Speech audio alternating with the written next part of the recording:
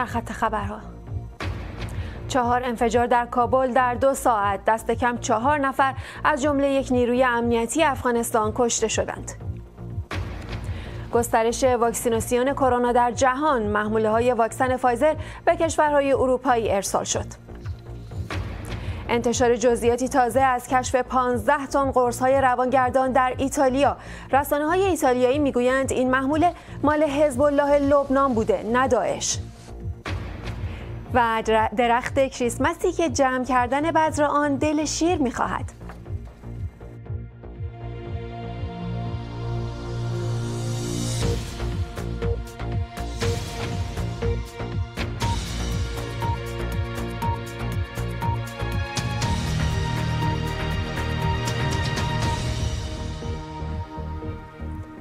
سلام خوش آمدید به این بخش خبر از تلویزیون فارسی بی بی سی. صبح امروز دست کم چهار انفجار با فاصله زمانی کمی از یکدیگر در کابل پایتخت افغانستان رخ داد. وزارت صحت عامه افغانستان گفته که در این انفجارها چهار نفر کشته و چهار نفر هم زخمی شدند. یکی از کشته شدگان معاون تیم حفاظت از معاون دوم رئیس جمهوری بوده و سرور دانش در گذشته او را تایید کرده. وقوع این انفجار همزمان شده با برگزاری دومین نشست کمیته رهبری شورای عالی مصالحه ملی افغانستان در کابل. از همکارم روین رهنوش در کابل درباره جزئیات این حادثه پرسیدم. انفجار اولی در ساحه چمن حضوری بخشهای مرکزی شهر کابل رخ داد و انفجار دومی هم سه دقیقه بعد در غرب کابل در جاده فیض محمد کاتب و انفجار سوم در شرق و چهارم هم در غرب کابل در ساحه دهبوری رخ داد و اهداف همه این انفجارها نظامیان و خودرو یا موترهای نظامی بوده و اونطور که گفتید یک از کشته, شدن، کشته شدگان هم معاون تیم امنیتی محمد سرور دانش معاون دوم رئیس جمهوری بود و همه انفجارها با استفاده از ماین های مغناطیسی صورت گرفته. ارگ ریاست جمهوری در اعلامیه گفته که محمد اشرف غنی بر نهادهای زیربط دستور داده که عاملین ترورهای چند روز اخیر را پیگیری بکنند و به جزای عملشان برسانند. کمیسیون مستقل حقوق بشر افغانستان هم گفته که دولت باید که در مورد قربانیان این رویداد عدالت را تأمین بکنه و سازمان ملل و جامعه جهانی هم خواسته که مردم افغانستان را در عملی شدن خواستشان برای تأمین آتش بس همکاری بکنند و البته دولت مسئولیت این رویدادها را هیچ گروه بدوش نگرفت اما دولت باز هم طالبان را مسئول می‌داند. چون امروز امرالله صالح معاون اول رئیس جمهوری گفت که گروه طالبان باید بفهمند که با کشتن ریش سفیدان و بزرگان قوم و خبرنگاران و فعالان مدنی جنگ فعلی به پایان نمی‌رسه همزمان حرفایی هم هست درباره مذاکرات بین الافغانی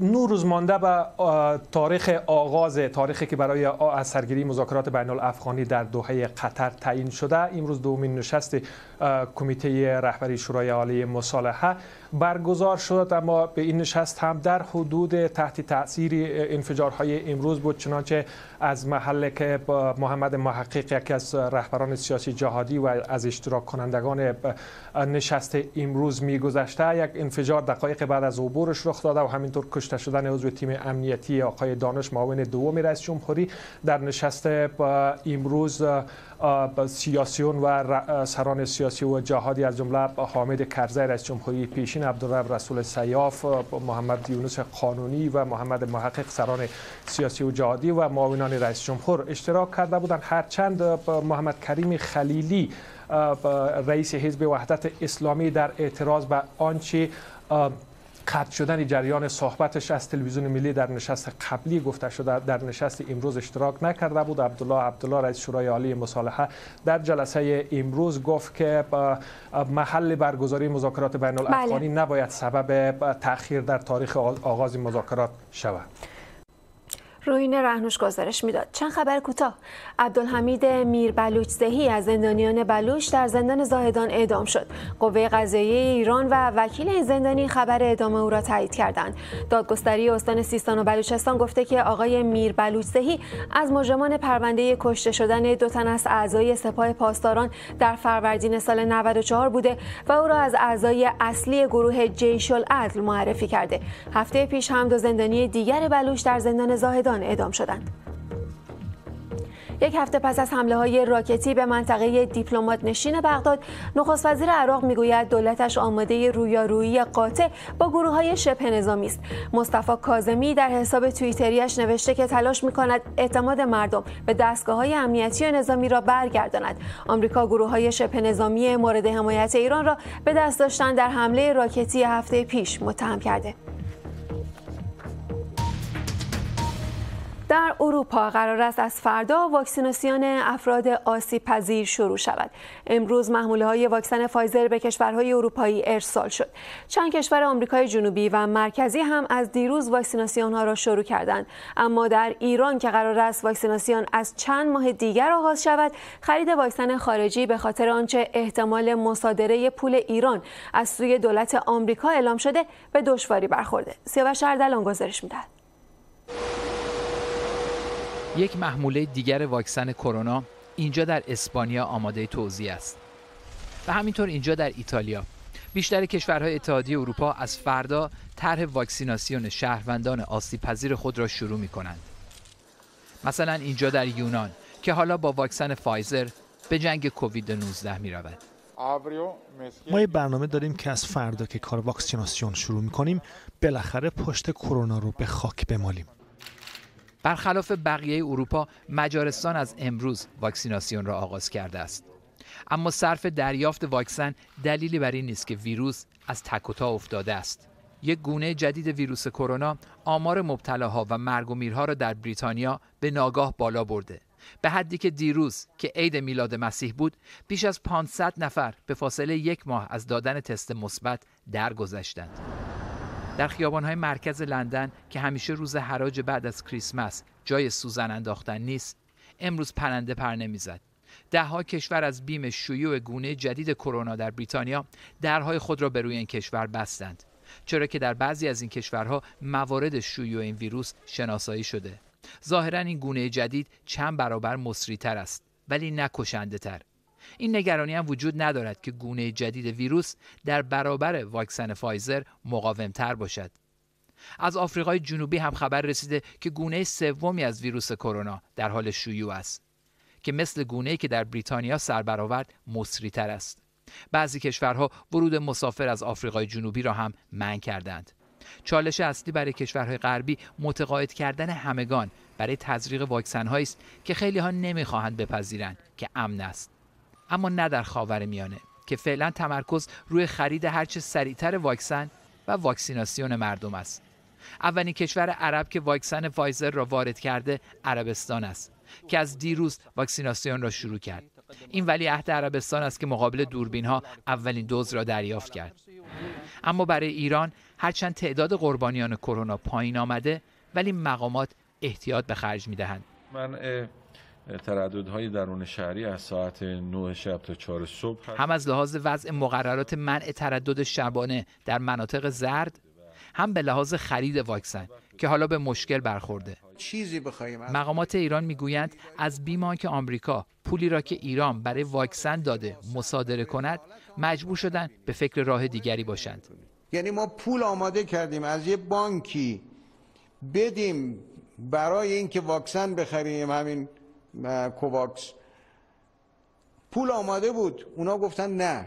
اول باید اوفک آمریکا اجازه رسمی بده. تو اون اجازه نده ما اصلا پول قبول نمی‌کنیم. پول خواستیم از یک کشوری منتقل بکنیم که پول ما اونجا هست. اون کشور قبول کرده. اوفک هم به ظاهر گفته اشکال نداره. بعد گفته این پول حتما باید بیاد اول توی بانک آمریکایی. بعد از بانک آمریکایی منتقل بشه. خب. کی اعتماد می‌کنه به شما آدم که هیچ کجا نمیشه به شما اعتماد کرد؟ هر جا پول ما رو پیدا کردید دزدیدید. دادگاه های آمریکا تاکنون ایران را محکوم به پرداخت نزدیک به دو میلیارد دلار قرامت به بازماندگان حمله های خرابکارانه در گذشته کردند که گفته شده شاید این پولها را از دارایی های مسدود شده ایران بردارند. اما این فقط دشمنی ایران و آمریکا نیست که کار خرید و دریافت واکسن را مشکل کرده. ایران باید قوانین ضد پولشویی را نیز تصویب کند که به علت مخالفت جریانات رقیب دولت هنوز ممکن نشده. حسن روحانی امروز گفت می‌خواهد این مانع نیز برطرف شود. سیاوش اردلان بی بی سی. هادی چاوشی خبرنگار اقتصادی از روم با ما هستن. آقای چاوشی آقای روحانی میگه که شرکت غیر معتبری می‌خواد واکسنش رو روی مردم ما تمرین کنه و ما حاضر نیستیم چنین چیزی اتفاق بیفته. آیا مشخص است که از روی چه حسابی آقای روحانی همچنان حرفی می‌زنه؟ واقعا نه چون این شرکت ها و گروه های مختلفی که در حال تحقیق برای ساخت واکسن کرونا بودن همشون یا دست کم اغلبشون توی اون سیستم کوواکس که سازمان بهداشت جهانی متولیش هست ثبت شدن و روند کارشون اونجا در حال بررسی مداوم هست. اینکه حالا بعضی شرکت ها ممکنه در حال کار باشن که این اشتراک به اشتراک نذاشته باشن اطلاعاتشون رو با سازمان بهداشت جهانی. از جمله شرکت های ایرانی که می‌دونیم هنوز این کار رو نکردن و اونجا به ثبت نرسیدن. ولی غیر از این شرکت های دیگه ای که اونجا ممکنه باشن هیچ شرکتی بدون هماهنگی سازمان بهداشت جهانی و بدون بررسی مداوم نتایج تحقیقاتش وارد فاز کارآزمایی های بالینی حالا حیوانی یا انسانی حتی بعد از اون نشدن. بنابراین این یه مقدار مبهم هست و نمیشه قضاوت نهایی رو دربارش فعلا ارائه کرد. اینکه آقای روحانی میگه که الان یک مشکل دیگه هم آمریکا ایجاد کرده و اون اینه که اول می‌خواد پول به بانک آمریکایی بره. آیا نمیشه راهی پیدا کرد که دو طرف مطمئن بشن که هم ایران می‌خواد با این پول واکسن بخره هم از اون طرف اینکه ایران مطمئن بشه که واکسن رو تحویل می‌گیره؟ ببینید ما مشکل نقل و انتقالات مالیمون در سالهای اخیر خیلی پیچیده شده واقعا. ما حتی بعد از برجام که توافق هسته‌ای بود که اتفاق افتاد و ایران و آمریکا به هر حال به یک تفاهمی رسیده بودن ما مشکل معاملات یوترن رو هنوز داشتیم. چون زن پولشویی نسبت به منابع مالی ایران در اون مورد وجود داشت و آمریکایی‌ها می‌گفتن ما نمی‌ذاریم ایران با این روش پولش رو اصطلاحا تو نیویورک بشوره. این قبل از سال 2008 حتی بانک ایرانی به واسطه بانک غیر آمریکایی از چرخه دلار استفاده می‌کردن. یعنی بدون اینکه به طور مستقیم با سیستم بانکی آمریکا وارد بشن چون هر جوری استفاده از نظام بانکی آمریکا نیازمند تصویه نهایی تو فدرال رزرو. اما بانک های ایرانی اون موقع با یه سیستمی دور می‌دادن از بانک های دیگه این استفاده رو انجام می‌دادن. بعد از 2008 همه این راه ها بسته شد و بعد از برجام هم حتی باز نشد. آقای سیف می‌گفت بله. تقریبا هیچ از برجام به دست ما نیامده ناظر به همین بود. بنابراین این چیز جدیدی نیست و خیلی تر از این مشکلش که به این راحتی ها بشه حل بشه و احتمال زیاد موانع زیادی هم تحریم هست در مقابلش هم ماجرای FATF هست. و هم حتی موانع تحریم های اولیه آمریکا. خیلی ممنونم ازتون. هادی چاوشی خبرنگار اقتصادی با ما. نگاهی بکنیم به سرخط خبرهای مهم روز صبح امروز چهار انفجار در کابل به کشته شدن دست کم چهار نفر از جمله یک مقام امنیتی افغانستان منجر شد. همزمان با تدارکات و آغاز واکسیناسیون کرونا در بسیاری از کشورهای اروپا ایران گفته برای انتقال پول خرید واکسن به بانکهای آمریکایی اطمینان ندارد. در ادامه برنامه درخت کریسمسی که جمع کردن بذر آن دل شیر می‌خواهد.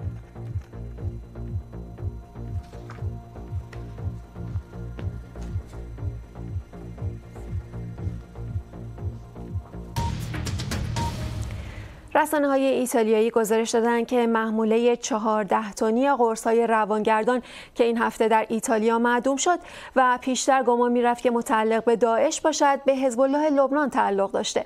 ارزش این محموله که از سوریه فرستاده شده بود حدود یک میلیارد یورو برآورد شده و دادستانی ناپل این عملیات را بزرگترین عملیات ضبط آمفتامین در جهان توصیف کرده بود مصرف تفریحی روانگردان کپتاگون در خاورمیانه رواج دارد و حتی شبه نظامیان هم در خطوط مقدم جنگ از آن استفاده می کنند. نشریه لفورمیکا ایتالیا از اولین رسانه هایی بوده که روی این موضوع کار کرده. پیشتر از فرانچسکو بکیس گزارشگر این نشریه پرسیدم که چرا اول گمان می‌رفت که محمول متعلق به داعش باشه اما حالا میگن که مال حزب الله لبنانه. سی buonasera. بله شما بخیر. اولین پیست کاراگاه ها یا اولین سوزن اونها این بود که این متعلق به داعش باشه. همونطور گفتید این قرص های انفتامین کاپتاگون که حتی قرص های جهادی معروف شدن به این عنوان گفته میشه که این جنگجو از اونها استفاده می‌کنن در جریان عملیات خودشون. و بعد گفته شده که این رو از جمله در مخفیگاه اون تروریست که در سال 2015 2015 در تئاتر به تئاتر باتاکلان در پاریس حمله کردن اونها هم از این استفاده کرده بودند و این رو در مخفیگاه اونها هم پیدا کرده بودند. در مورد منشأ این محموله خاص یک تردیدهای وجود داشت. در درجه اول فکر کردن که داعش در حال حاضر قابلیت های سازماندهی لوجستیک و مالی لازم رو برای سازماندهی چنین محموله 84 میلیون قرص نداشته باشه در این مقطع قرص هایی که از بندر سالرنو در جنوب ایتالیا رد شدن و بعد در همونطور که در خبرها دیدید مصادره شدن و معدوم شدن بنابراین رفتم به سمت یک پیست دیگه یک فرضیه دیگری که حزب الله باشه سازمان لبنانی که می‌دونیم که بی تجربه نیست در زمینه چنین قاچاقهایی در گذشته از چنین منابع خودش رو تامین مالی کرده از جمله محمولهایی که دقیقا از بندر سالرنو میگذشتن درست چند هفته قبل از مصادره همین محموله که داریم راجعش صحبت می‌کنیم چندین تن حشیش یک محموله چند تنی حشیش باز هم که مبدأش خاورمیانه بود در سالرنو مصادره شد بنابراین به نظر میاد که این پیست این سوء بسیار قوی تر باشه و در نهایت تصمیم گرفتن که به سمت اون بره چی شده که این محموله ها از ایتالیا سر در میارن؟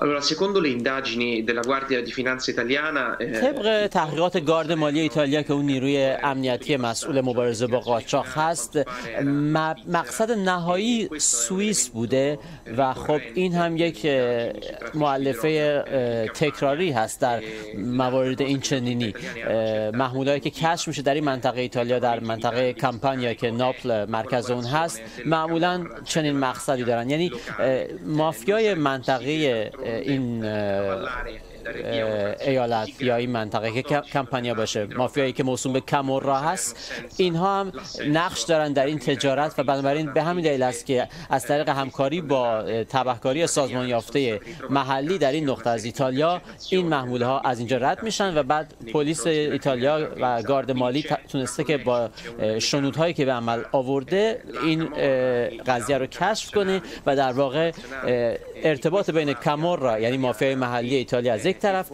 و business بین المللی مواد مخدر که از جمله حزب الله و دیگر گروه های خاورمیانه هم درش نقش داشتن این رابطه رو کشف کنه و طبیعتا اپیدمی یا همهگیری کووید یا کرونا در اروپا باعث شده که این قضیه تا حدی دچار کندی بشه و به این ترتیب تونستن که با سرعت بیشتر این محموله رو کشف کنن. چند خبر کوتاه. جورج بلیک از مشهورترین های دوران جنگ صدر در 98 سالگی درگذشت. او جاسوسی دو جانبه بود که همزمان با فعالیت در سرویس مخفی بریتانیا برای اتحاد جماهیر شوروی هم جاسوسی می‌کرد. او در مصاحبه ای با بی بی سی گفته بود که نزدیک به 500 نفر از ماموران اطلاعاتی غربی را لو داده اما اینکه فعالیت او به مرگ 42 نفر از این ماموران منجر شده را رد کرده بود. نخست وزیر ارمنستان می‌گوید که آماده گفتگو درباره برگزاری انتخابات زود هنگام است اما حاضر نیست پیش از وقت از قدرت کنار برود. نیکول پاشینیان پس از شکست کشورش در جنگ با جمهوری آذربایجان زیر فشار احزاب مخالف برای کنارگیری بوده. آقای پاشینیان در پستی فیسبوکی نوشته به صندلی نخست وزیری نچسبیده اما برای مقام و مسئولیتی که با انتخاب مردم به او واگذار شده احترام قائل است. در هند دولت ایالتی مادیا پرادش با قانون پیشنهادی جدیدی موافقت کرده که تغییر اجباری مذهب در ازدواج را ممنوع می کند. منتقدان این لایحه می‌گویند چنین قانونی در صورت اجرا به زیان مسلمانان این منطقه است. در صورت تصویب نهایی در شورای ایالتی بر اساس این قانون مجبور کردن فردی به تغییر مذهب به خاطر ازدواج یا هر دلیل دیگر تا ده سال مجازات زندان در پی خواهد داشت. فدراسیون کوهنوردی ایران از مرگ هشت نفر در ریزش بهمن در کوههای شمال تهران خبر داده. هلال احمر ایران اما گفته که تاکنون جسد شش نفر از جانباختگان این حادثه را یافته و جستجو برای یافتن دست کم 18 نفر دیگر در جریان است. رسانه های ایران دیروز گزارش دادند که بیش از 100 نفر در کولاک و ریزش بهمن در کوههای شمال تهران گیر افتادند. اسرائیل در پاسخ به حملات راکتی از غزه مواضع حماس را در این منطقه فلسطینی بمباران کرده. ارتش اسرائیل گفته که جنبش فلسطینی حماس را مسئول هر حمله ای از نوار غزه می‌داند. به گفته ارتش اسرائیل یک کارخانه تولید راکت یک مقر نظامی و چند مرکز زیرزمینی هدف قرار گرفتند. روز جمعه سامانه دفاع هوایی اسرائیل دو راکت پرتاب شده از غزه را رهگیری و نابود کرد.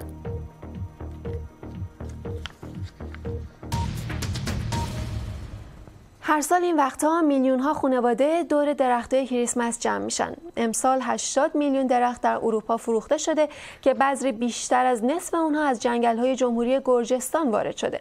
نوعی از درختای سوزنی بر که به سنوبر قفقازی مشهوره و به دلیل عطرش و اینکه برکاش دیر میریزن پرطرفداره. اما برداشت بذر این درختان دل و جرأت زیادی می‌خواد. ریحان دیمیتری از جنگل های کوهستانی راچا در گرجستان گزارش میده.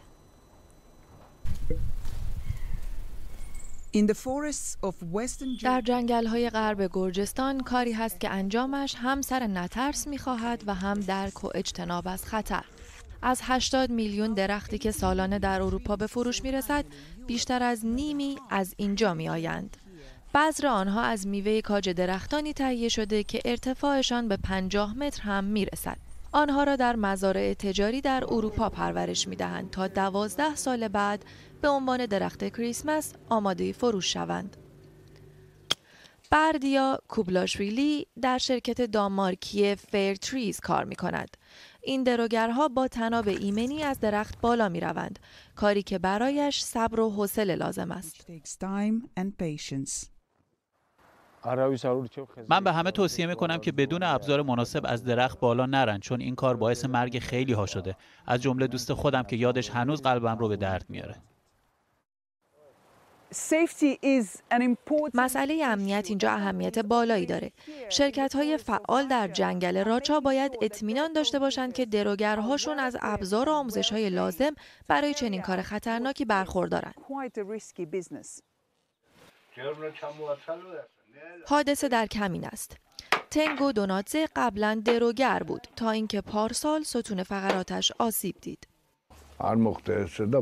شاخه درخت زیر پامو خالی کرد و افتادم. به یه شاخه دیگه چنگ زدم که اونم شکست و از ارتفاع ده متری سقوط کردم. به لطف خدا زنده موندم.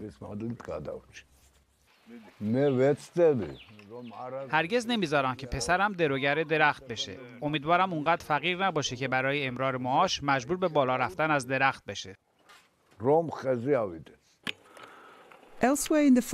در بخش دیگری از جنگل کارکنان یک شرکت دانمارکی دیگر به نام لوینسون از طنابهای ایمنی استفاده نمی کنند. فقط بالای درخت کمربند ایمنی می بندند. این شرکت می گوید دارد روی ارتقای استانداردهای ایمنیش کار می کند. تصمیم گیری در این باره انجام شده و داریم تمهیدات ایمنی بیشتری رو برای دروگرها در نظر می گیریم. دلیلش هم فقط پیشگیری از حادثه است. نمی‌خوایم سانحه‌ای رخ بده. تیم بردیا از تنابهای ایمنی استفاده می کند که سرعتش را کم می کند اما شرکت برای هر کیلو میوه کاج یک یورو و 20 سنت به اون می پردازد. دروگرهای دیگر در ازای هر کیلو فقط چهل سنت می گیرند.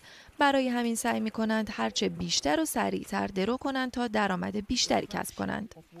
این فقط کسر کوچکی از درآمد یک صنعت چند میلیارد یورویی است که حیات بسیاری از مردم این سرزمین به آن وابسته است. ریحان دیمیتری بی بی سی نیوز راچا وستن جورجیا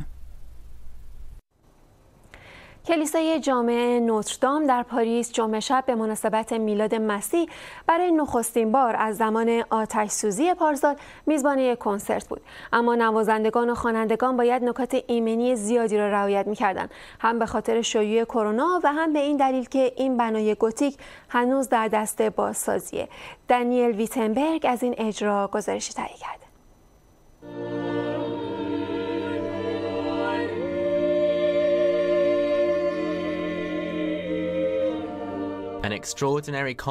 یک کنسرت فوق‌العاده در کریسمسی بی شباهت به سالهای قبل. اگرچه اعضای گروه کور کلیسای نوتردام کلاه ایمنی و لباس ضد حریق به تن داشتند دست کم ماسکها را از صورتشان برداشته بودند و در تعطیلاتی می که در آن حال و هوای عید کمتر احساس می شود این اولین کنسرت از زمان آتش سوزی بزرگی است که پارسال معروفترین کلیسای فرانسه را تقریبا نابود کرد گروه کوری که در حالت عادی 160 عضو دارد فقط با 8 نفر و با حفظ فاصله اجتماعی به اجرا پرداخت. با همراهی یک خواننده سوپرانو و ویولون، ویولونسل و یک ارگ کوچک اجاره ای. با وجود پروتکل های سختگیرانه حتی گوشپشت هم نمی‌توانست برای تماشا به کلیسای نوتردام تقریبا خالی بیاید که اکنون در حال بازسازی است. مراسم اشای ربانی مرسوم در نیمه شب برگزار نشد و این کنسرت هم از پیش ضبط شده و دیشب پخش شد. وقتی که مردم فرانسه اجازه پیدا کردند برای صرف شام کریسمس از قرنطینه بیرون بیایند. موسیقی شامل قطعات کلاسیک از موتسارت و شوبرت بود تا بعضی آهنگهای شادتر. بزرگترین معجزه کریسمس اما نه شکل اجرای کنسرت بلکه اصل برگزاری آن بود. با وجود شیوع کرونا تعمیر کلیسا ادامه دارد. نشانه از آن که با وجود تمام تاریکی ها پاریس با کلیسای جامع در قلبش باز هم شهر نور خواهد بود. دانیل ویتنبرگ BBC نیوز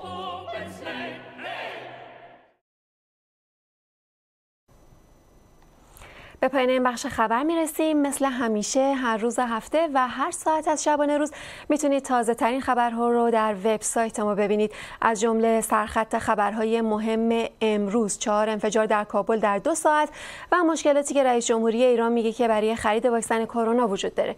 برنامه های تلویزیون و رادیو رو هم می‌تونید در سایت بی بی سی فارسی ببینید. اطلاعات مربوط به برنامه های تلویزیون و ساعت پخش رو هم می‌تونید از طریق سایت ما به دست بیارید. آدرس ما بی bbcpersian.com